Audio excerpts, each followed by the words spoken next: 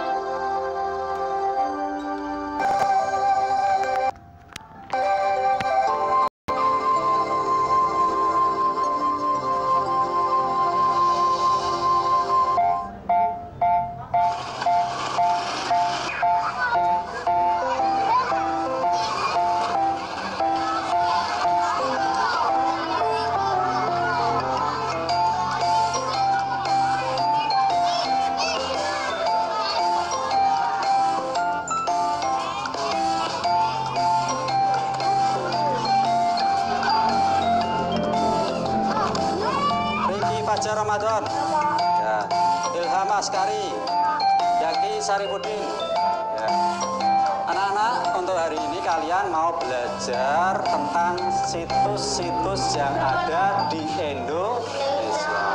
Nah, situs-situs yang ada di Indonesia itu banyak sekali anak-anak. Mungkin yang di daerah tentu ada candi, ada bermacam-macam, ada candi itu candi peninggalan kerajaan-kerajaan yang dulu ada yang di Jawa Tengah itu yang paling besar itu peninggalan Candi Borobudur. Ada yang mau bertanya? Eh Pak, Pak emangnya situs-situs di Karimun Jawa ada Pak? Karimun Jawa itu ada anak-anak, karena di Karimun Jawa itu ada daerah laut atau daerah kepulauan. Situs yang ada di Karimun Jawa adalah situs bawah laut. Nah, situs bawah laut yang ada di Karimun Jawa itu contoh di sini yang sudah ada adalah kapal. Kapal yaitu kapal tenggel, tenggelam. Nah, kapal tenggelam yang Pak Guru ceritakan sini adalah kapal yang namanya kapal Indonor. Nah, kapal Indonor. kapal Indonor. Loh, kok namanya ke kapal Indonor, Pak? Lah, begitu karena kapal Indonor ini anak-anak adalah kapal kerjasama antara Indonesia dengan Norwegia. Eh ya itu mau neng dia. Eh cuma kayak Pak Hasan mau tentang kapal-kapal apa? Kapal iya Oke. Eh aku tiga tak tak pikir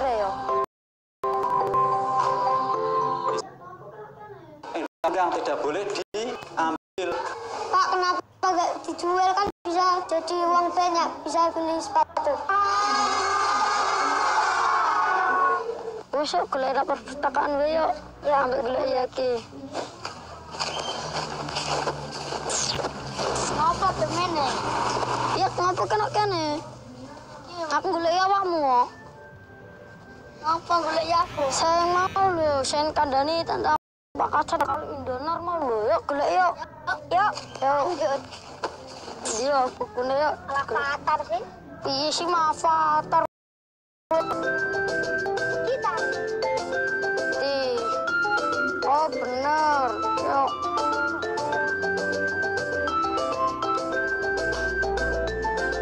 Iki kapal ri. Iki lho, heeh, iki. Langsung kita. Iki ya kapal ya. Ya iki lho Indonor. Iya, iki ono keren-keren. Kapal Indonor itu sudah tenggelam. Teman, menurut sebuah lagu, adalah pelaut. Sebuah kalimat yang hanya dengan mendengarnya saja sudah membuat kami bangga. Indonesia memang membentang dengan jumlah perairan yang lebih banyak daripada daratannya.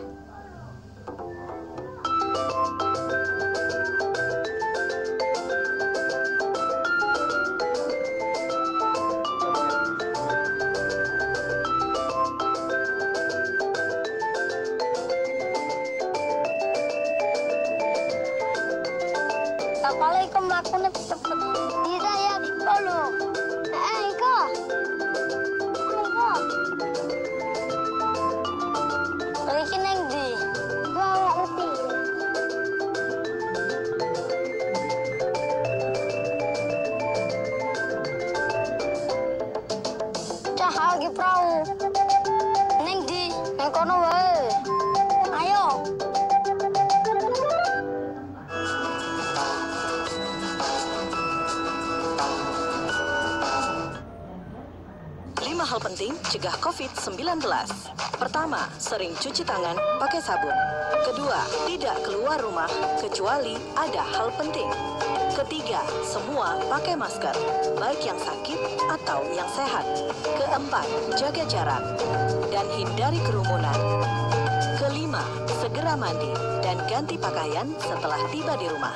Iklan ini dipersembahkan oleh Kementerian Kesehatan Republik Indonesia.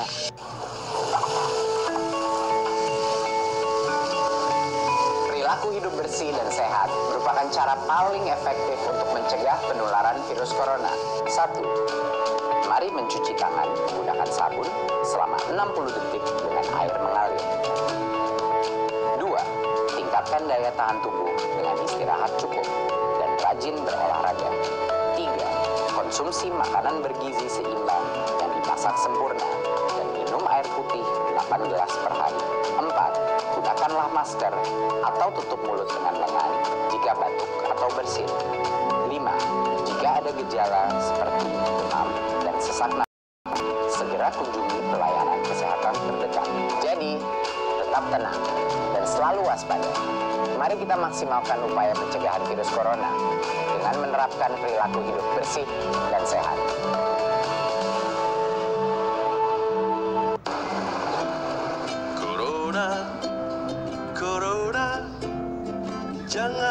Jangan ganggu aku. Ayo, ayo cuci tangan, usai bermain di luar. Ayo makan makanan sehat, serta buah-buahan. Ayo jaga kebersihan, cuci-cuci perkakasmu. Jangan lupa berolahraga agar badan tetap bugar. Berikan salammu dari jauh untuk teman tersayang. Berikan doa terbaik untukmu,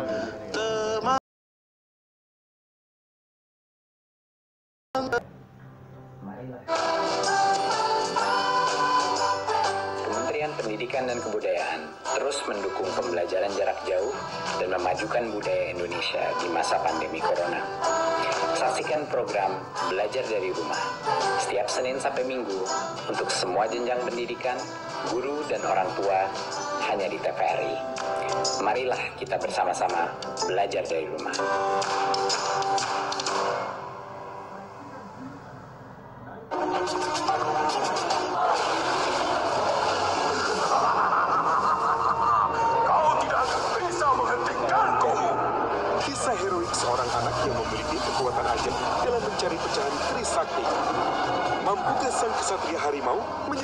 Desanya dari amukan raksasa?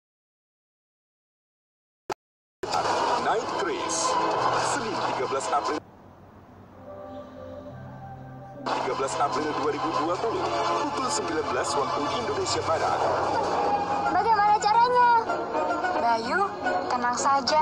Aku akan menemani kamu. Dipersembahkan oleh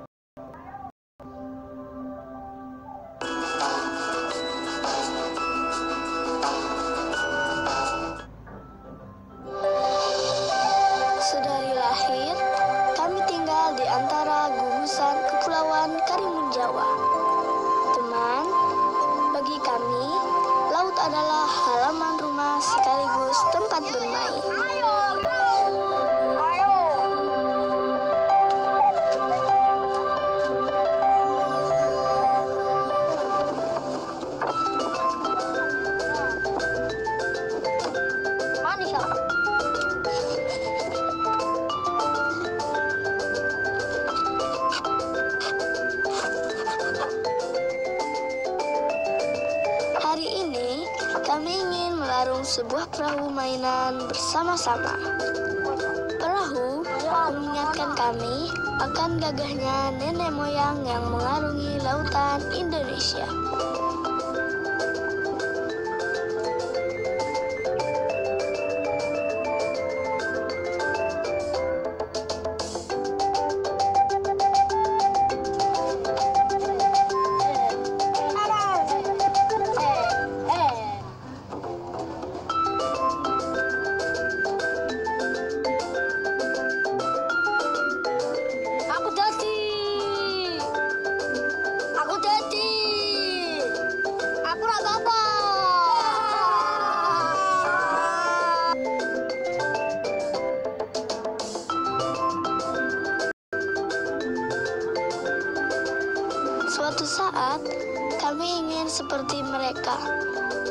Mengarungi dunia untuk menceritakan betapa indahnya surga kecil ini.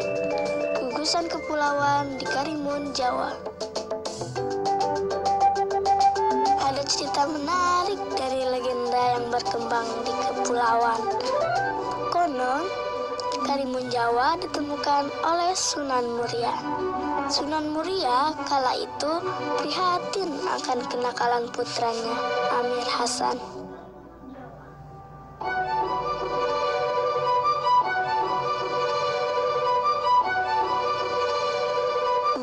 Dengan maksud mendidik Amir Hasan untuk memperdalam ilmu agama, Sunan Muria memerintahkan Amir Hasan pergi ke pulau yang nampak keremun-keremun atau kabur. Maka dinamakanlah pulau ini Karimun Jawa.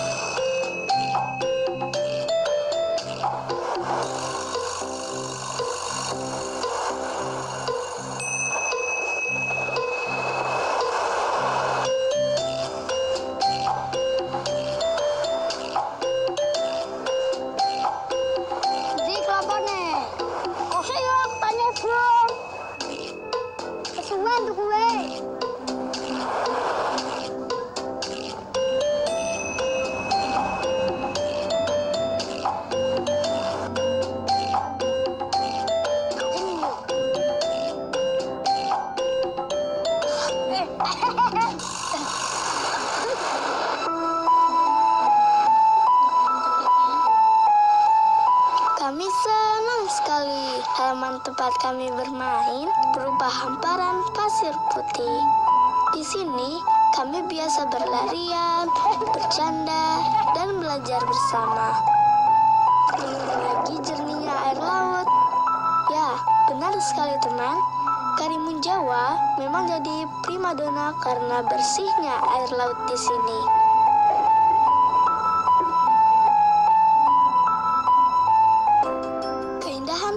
Kepulauan Karimun Jawa terletak di Laut Jawa yang masuk dalam Kabupaten Jepara, Jawa Tengah. Kabar tentang betapa mengagumkannya Karimun Jawa sudah sampai kepada turis mancanegara. Jadi, semakin hari semakin banyak saja wisatawan lokal maupun mancanegara yang datang ke halaman tempat kami bermain ini. Kata orang, Karimun Jawa memiliki keindahan bawah air yang tiada duanya. Ribuan spesies ikan dan terumbu karang yang masih sangat terjaga membuatnya tersohor hingga ke mancanegara. Karimun Jawa mungkin tak sepopuler Bali atau Lombok, tapi percayalah teman, keindahan alam laut di sini tak kalah luar biasa. Sebagai salah satu dari sembilan taman laut nasional di Indonesia, Karimun Jawa terdiri atas 27 pulau.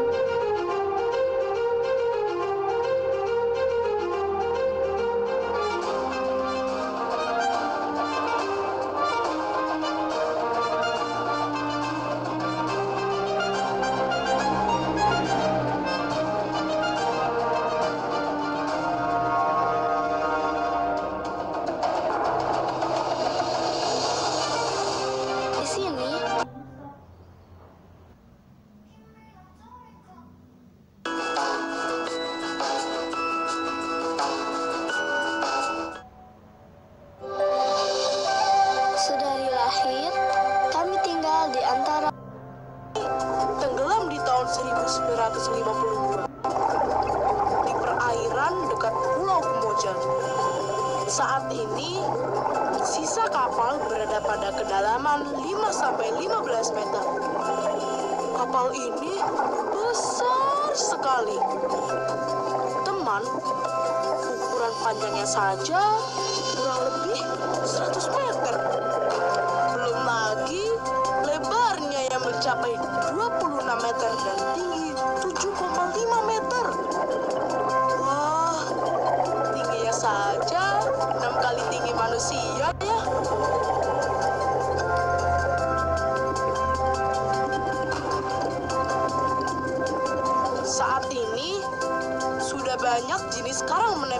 Badan sisa kapal.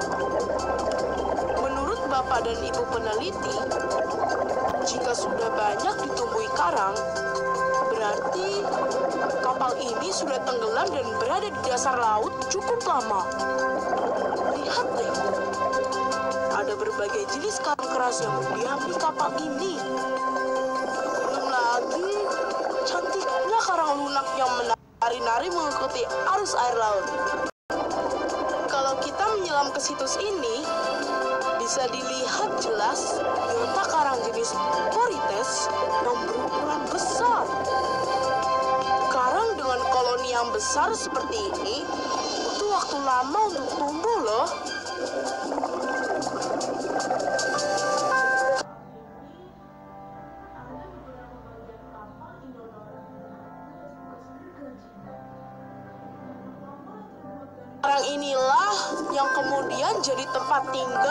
Beragam jenis ikan yang cantik. Lihat itu di sana. Zaki, mereka semua adalah temanku loh. Tapi Kora sedih sekali. Karena saat ini ada beberapa bagian kapal Indonor yang terkuras bekas gergaji. Karena kapal yang terbuat dari besi, maka ada saja yang berniat buruk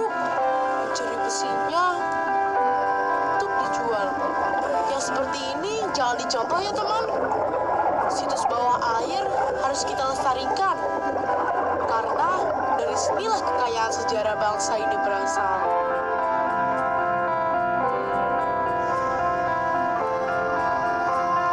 Buat kami, tidaklah sulit mencintai Indonesia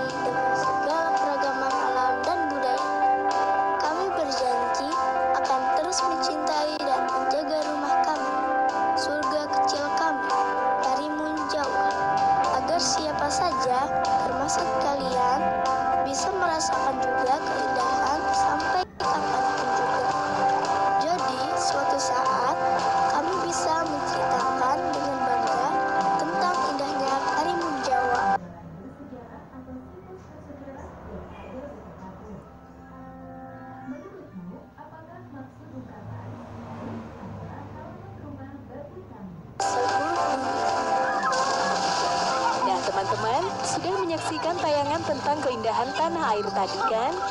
Sekarang saatnya kita menjawab beberapa pertanyaan ini ya. Bagaimana menjaga, melindungi, dan memanfaatkan peninggalan bersejarah atau situs bersejarah yang ada di tempatmu? Menurutmu, apakah maksud ungkapan laut adalah halaman rumah bagi kami? Temukan ungkapan lain yang menandakan kekaguman pada alam. Oh iya, jangan lupa untuk tetap belajar di rumah ya dan jaga kesehatan dengan rajin mencuci tangan serta makan ma- makanan yang bergizi. Sampai jumpa